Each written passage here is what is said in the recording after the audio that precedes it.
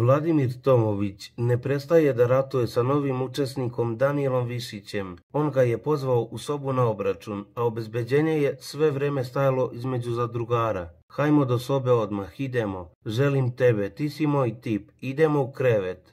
Morat će tako, nema potrebe da ide obezbeđenje. Idemo u krevet, govorio je Tomović. Jeste, ti si Homović, ali to se leči. Nećemo tako. Ja nisam ovdje da se bijem. Protivio se Daniel. bit ću ti noćna mora. Svaku noć sam pored tebe u krevetu. Tačno si moj tip tako plav. Nastavljao je Vladimir.